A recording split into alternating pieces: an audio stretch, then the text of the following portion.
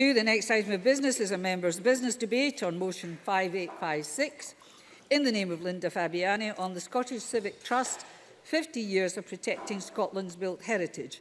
This debate will be concluded without any questions being put with those members who wish to speak in the debate please press the request to speak buttons now and I call on Linda Fabiani to open the debate. Seven minutes are there about, Ms Fabiani.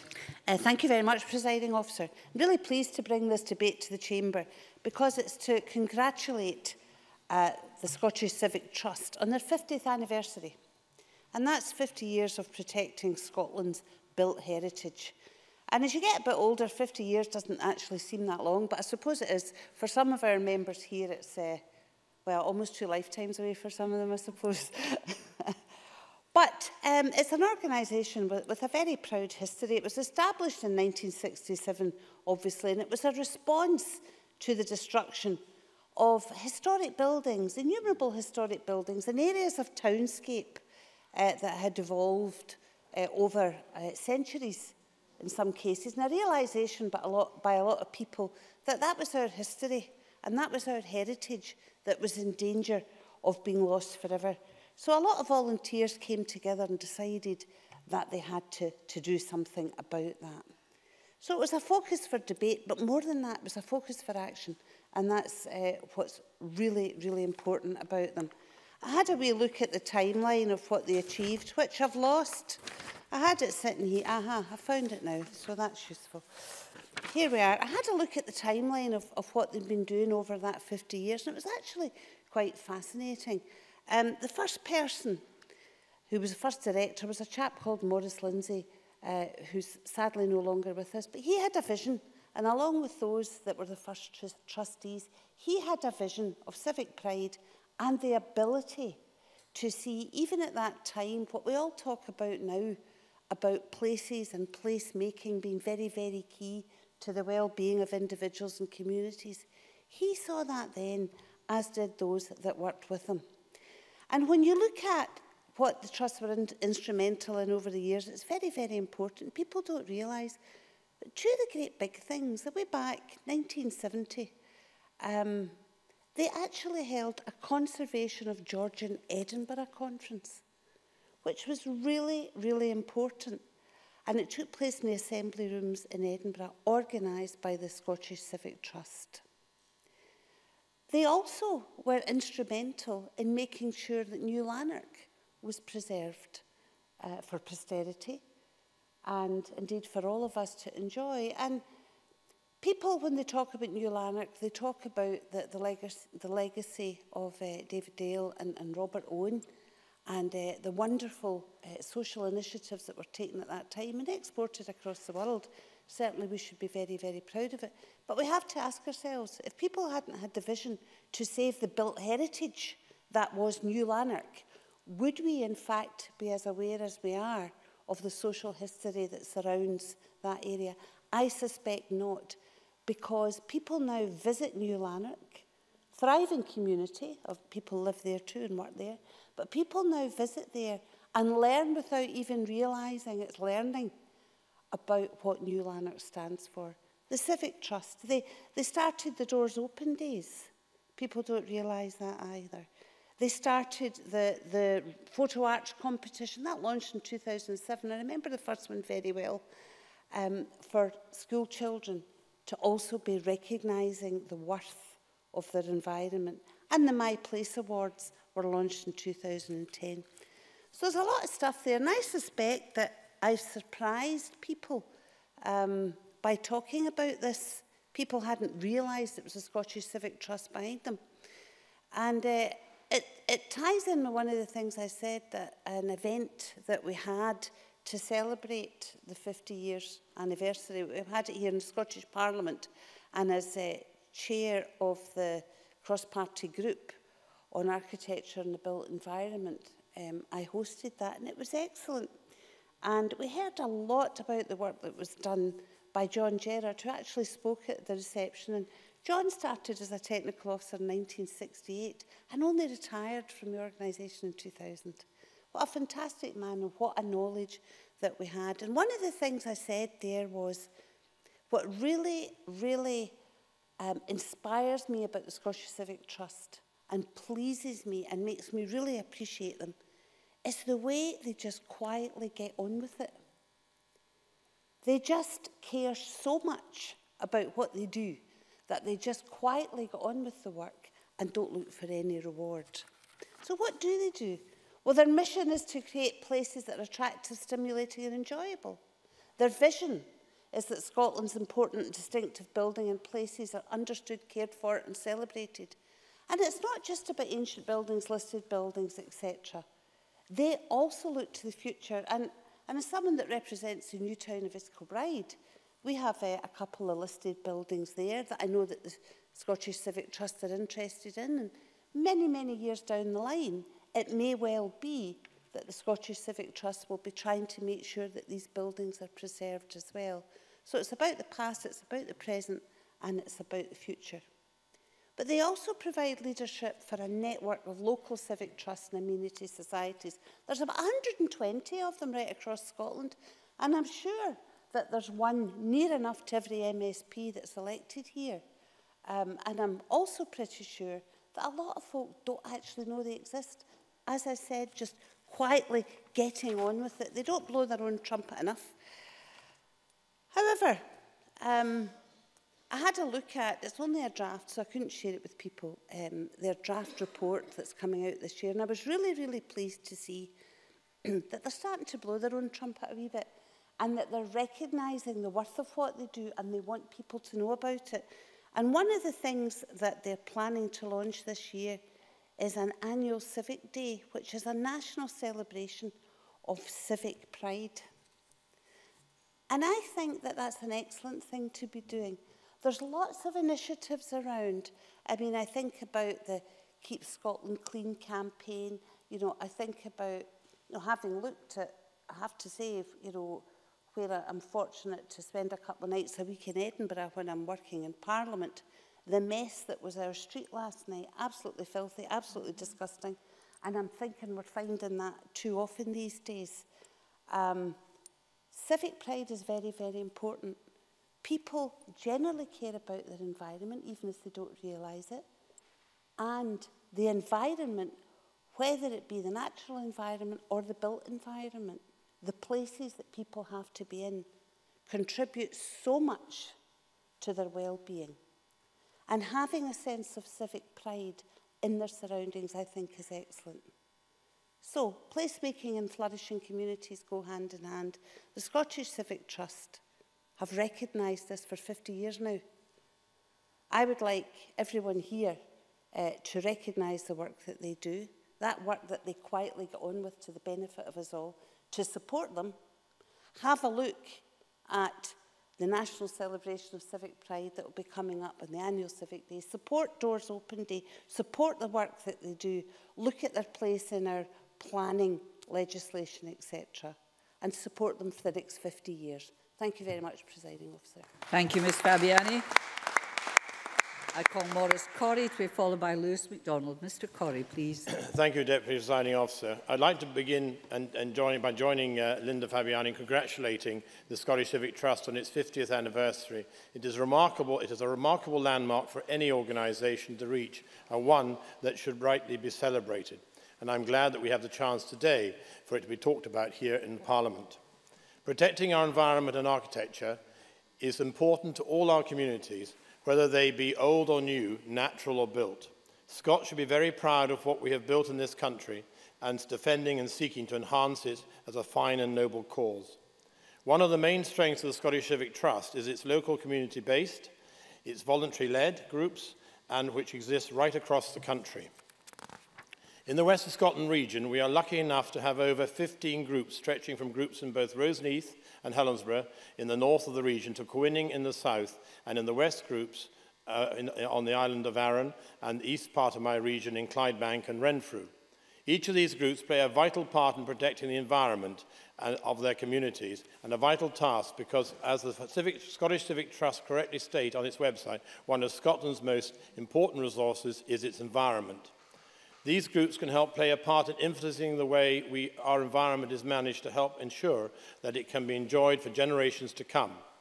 According to the Scottish Civic Trust, nearly 90% of their groups engage directly with local councils on individual planning applications and also on overall local planning and development plan policy. Scottish Civic Trust local groups also work to involve and inform the wider public by organising lectures and social events and run awards schemes. Their activities also include working to get improvements to the local area, work with schools and local businesses. Scottish Civic Trust also coordinate the work of numerous national projects such as Scottish, as the Scottish Civic Pride campaign, uh, My Place Awards, My Place Photography Competition and the Scottish Heritage Angel Awards. Another example of this sort of work is the Doors Open policy and, and Day, uh, which, uh, one of which is planned for this year by the Helensburgh Heritage Trust, which is working to hold an event which will see some of the town's most iconic buildings open their doors to the public. This follows on from a successful Doors Open Day, which was held in Western Bartonshire last year, which saw the doors of various prominent and well-known buildings being opened to the public, including St Mungo's Scottish Episcopal Church in Alexandria, Strathleven House in Dumbarton, and the gardens at Robin House Children's Hospice in Balloch. The frequency of such events shows that the Scottish public is aware of its heritage and is active in promoting it frequently. If the number of events in my regions is replicated across Scotland, which I understand is the case, the Scottish Civic Trust has undoubtedly fulfilled its duty to promote Scotland's environment and architecture. And in conclusion, Deputy Resigning Officer, once again, I would like to congratulate the Scottish Civic Trust on its 50th anniversary and wish it the very best for the next 50 years. Thank you. Thank you, Mr Corey. I call Lewis MacDonald to be followed by Graham Simpson. Thank you very much, uh, Presiding Officer, and I too would congratulate Linda Fabiani on securing this debate. It provides a good opportunity to focus on Scotland's built environment and on how civil society can work with central and local government to achieve the right balance of conservation and development in our crowded urban spaces. It's no coincidence, I think, that this society was founded 50 years ago because, in a sense, that marked the end of the period of post-war redevelopment, which was often done at a pace uh, and in ways that perhaps uh, left uh, heritage quite low down the order of priorities. Having uh, experienced that process and having reached a point where there was clearly, I, I think, an, a broader recognition of the importance of conservation as well as development, I think the Civic Trust has contributed over that 50 years to a, a rethink uh, and a reprioritization, uh, and particularly uh, to protecting some of our most uh, valuable heritage. Linda Fabiani mentioned George in Edinburgh and New Lanark, but of course there are many other examples uh, around the country where the Civic Trust and those bodies which had helped to bring into being uh, have made that kind of development possible and that change possible. The guiding principle of local empowerment, which underlies the Civic Trust, is, I think, the right one, recognising that local communities have a special interest in how their local area is conserved or developed or both. And there will not always be consensus on what projects should go forward, as again I suspect most of us know uh, from our local uh, uh, uh, experience, and how they should relate to each other and to existing buildings, what the balance is between conservation and development. But the starting point has to be that local people have the right and the opportunity to express their views, to take an active role, and it is that approach which we celebrate this evening. I would particularly highlight from my own area, Aberdeen Civic Society, which is a member of the Scottish Civic Trust, and also the Aberdeen City Heritage Trust, which brings together a number of public and third sector organisations with similar objectives in mind. And, and uh, the, the work that those bodies do is very much around uh, getting the balance right and ensuring that while we seek to regenerate our cities, we do it in a way that's sensitive uh, and respectful. Another fundamental principle of the Civic Trust, which uh, has already be, indeed been mentioned, is the importance of raising awareness, a pride and sense of ownership in, uh, of our best historic and public buildings and the annual Doors Open Day. And that uh, is, is, is uh, something coordinated by the Trust, uh, initiated by the Trust, but a good example of the mutual benefits uh, that can arise, both from the, for those responsible for those buildings and for the wider community. I know from my own experience, for example, uh, just how much it is possible for families to learn about their own city uh, from Doors Open Day. Buildings that might be walked past without a second glance turn out to contain much more than meets the eye. Uh, I think, for example, in Aberdeen of St Nicholas the Mither Kirk, a centre of worship and city life for well nigh a thousand years, and of Trinity Hall. Uh, anyone who's uh, the Trinity, Trinity Hall in Aberdeen will see a typical 1970s building, but perhaps not be aware until they go in the door uh, that there's hundreds of years of accumulated uh, uh, heritage from the incorporated trades of the city uh, that lie behind those walls. And so there are benefits to those who visit, but there are also benefits uh, to those operating such buildings from that increased awareness uh, and from that increased uh, audience for what they do. And I think it's worth saying in conclusion that it's not just about the built environment and, and old and ancient buildings, important those, though those are. Aberdeen Civic Society has recently provided awards for the restoration of Duthie Park, a public park in the centre of Aberdeen, which has been restored to a fantastic uh, standard, and for the building of Maggie's Centre in Aberdeen, a modern uh, and purpose-built uh, building right on the edge of the hospital campus at Forrester Hill. So, so the work of the Civic Trust and those organisations which are part of it on a national basis is very much to be commended.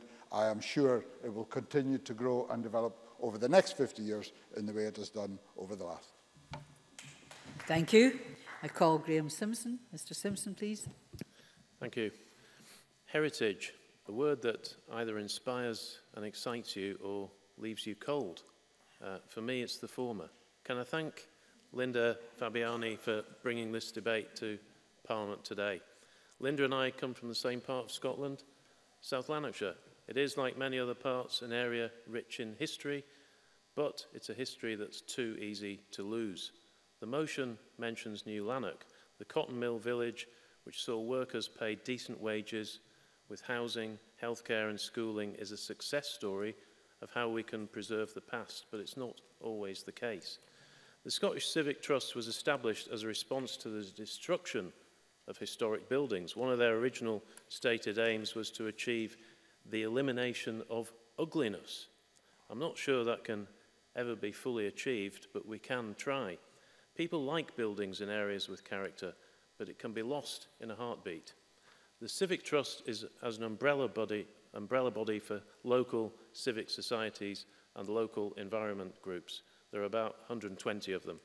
And although some comment on planning matters, there's no mandatory requirement for them to be contacted, and the Trust has no statutory powers. It used to maintain the Buildings at Risk Register for Scotland. Today's debate, uh, but sorry, that's now maintained by Historic Environment Scotland.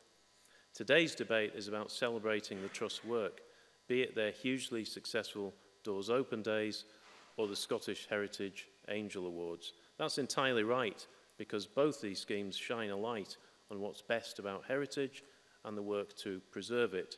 Uh, I was also uh, enthused to hear about the annual Civic Day. But I want to make a serious po point about what I see as a gap in our approach to heritage. The Buildings at Risk Register covers listed buildings and buildings in conservation areas. That's fine, but there are many other historic buildings which deserve protection and aren't getting it. This was brought home to me recently when my local pub, the Stuartfield Farm, which dates from the 1800s, was closed and permission given to demolish it, while an application to build new houses is considered. There's nothing wrong with the building, or there wasn't until the roof tiles were removed, and nobody nearby wants to see it go. It's part of the heritage of our hometown, East Kilbride, but the council won't do anything to save it. It's not listed and it's not in a conservation area. It could be one of many that got away. So my point is this. Someone, somewhere, maybe the Scottish Civic Trust should be able to at least put a temporary halt to such wanton vandalism of our history. If that means beefing up what they can do, then so be it. And maybe there's an opportunity when the planning bill comes before this parliament. Scottish Civic Trust Director John Peelan told my office that MSPs should be campaigning about buildings in their own area and bring it to the attention of the Scottish Civic Trust and buildings at risk register. I have, and I urge others to do the same. Thank you. Thank you, Mr Simpson. Um, I now call on Fiona Hislop to close the Government Cabinet Secretary. Seven minutes or thereabouts, please. Uh, Presiding officer, in closing today's debate, I would like to first of all thank Linda Fabiani for securing the debate and her heartfelt tribute to this most important of organisations at the heart of civic life in Scotland. And the motion rightly highlights New Lanark and the Scottish Civic Trust's role in helping to save the site in the 1970s. From a tale of dilapidation and ruin, New Lanark is now one of our six World Heritage Sites in Scotland, and it was inscribed as a World Heritage Site in 2001 and is seen as a historic environment success story. Of course, the Scottish Civic Trust has done much to contribute to the care, promotion and understanding of our rich built heritage since the organisation's birth in 1967. As Cabinet Secretary with responsibility for the historic environment, I've had the pleasure of seeing for myself the sterling work that the Trust undertakes on behalf of the people of Scotland. And through the Trust's core activities, the organisation does a huge amount to raise the profile of Scotland and its rich built environment, both at home and abroad. And I'd like to say a few words on those activities in due course. Firstly, however, I would like to personally thank the Civic Trust for its contribution to the development and implementation of Our Place in Time, Scotland's first ever strategy for the historic environment. And in particular, I'd like to acknowledge the contribution of the Trust Director, John Peelan, to that process. The Trust was one of a, a number of partners who worked in collaboration to develop a series of shared strategic priorities for Scotland's historic environment. And I'm also pleased to be able to report that the Trust will continue to help deliver our national shared objectives for the historic environment, not only through its own activities, but also through its membership of the volunteering working group, which has been set up under our Place and Times Refresh strategic framework. and the group will consider how best to demonstrate and promote the value of volunteering to the historic environment and establish mechanisms of engagement for the individual, communities and organisations, and I look forward to seeing the fruits of the group's deliberations in due course. And I'm also pleased that the Scottish Government has been able to support the work of the Scottish Civic Trust through the Agency of Historic Environment Scotland, which has provided voluntary sector funding to the Trust for many years and is currently the organisation's main funder, providing about 50% of their income. Historic Environment Scotland is currently committed to a three-year funding award of over £305,000 to the Trust to deliver three specific projects, some of which have already been mentioned today in the debate. The Doors Open Day, My Place Photography Competition and the Civic Pride Campaign. The Doors Open Day, as we've heard, is Scotland's largest free annual architectural event. It's coordinated nationally by the Scottish Civic Trust and is part of Europe European Heritage Days alongside Scottish Archaeology Month, which is coordinated by Archaeology Scotland and also funded through the Historic Environment Scotland Voluntary Sector Fund.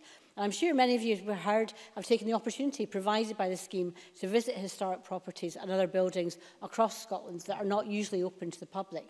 It's been a hugely successful initiative and the figures that we have are impressive. The uh, Historic Environment Audit for 2016 reported that in 2015, 25 local authorities participated in Doors Open Day, over 1,000 buildings were open to the public, and over 210,000 visits were recorded and the event was supported by over 5,000 volunteers. So these figures demonstrate clearly the level of interest of the people in Scotland that they have in their own built environment. And it's hugely encouraging to note how many people are willing to give of their time freely to ensure the success of Doors Open Day. And I think the Chamber has expressed its thanks to them. The My Place Photography competition, the Trust My Place Photography competition, has also been remarkably successful. The competition is a built environment photography project for primary and secondary age uh, school children throughout Scotland and it encourages uh, children to look at the heritage and the places they live through the medium of photography. In 2017, over 500 young people took, took part from 24 school, schools in 14 local authority areas is a great level of uptake. Uh, excellent example, fantastic photography. Um, and I usually have to fight with the local government minister to see who gets to go to the competition to present the awards. Um, the Civic Pride campaign that we've heard of, um, encouragement is also at the core of the Scottish Civic Trust Civic Pride campaign. And here funding helps the Trust to carry out a range of functions to um, uh, foster and develop a sense of civic pride in our towns and cities. And at the heart of the campaign is the Scottish Civic Trust established network, referred to by Morris Corey and Lewis MacDonald, of over 100 affiliated local groups across Scotland, which represent uh, an important part of our civic society. And again, thousands of volunteers from all walks of life across the, the country. And with the indulgence, presiding officer, I would like to, to talk about Linlithgow Civic Trust, who I spoke to only on Friday. Uh, they are wise, they are uh, passionate and they are determined in promoting uh, the town in which they work, in which I live. Um, they Town of Linlithgow is much older than East Kilbride. Uh, it uh, has different challenges. Um, but I think it's quite important to remember that uh, what they do is they help us understand our heritage, but they also look to a sustainable future um, and involved in planning terms uh, in terms of how that town itself can develop for the future. So we shouldn't always think about the Civic Trust about being at the past. It's certainly about the present, but it's also about the future.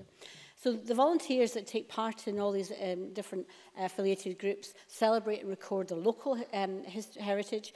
Uh, and the Civic Pride campaign is uh, aiming to recognise and support that work of the local civic groups and amenity societies across Scotland to help them foster links and they think that um, that will, will be something that will be a benefit not just to individuals but also that network of uh, association of civic pride.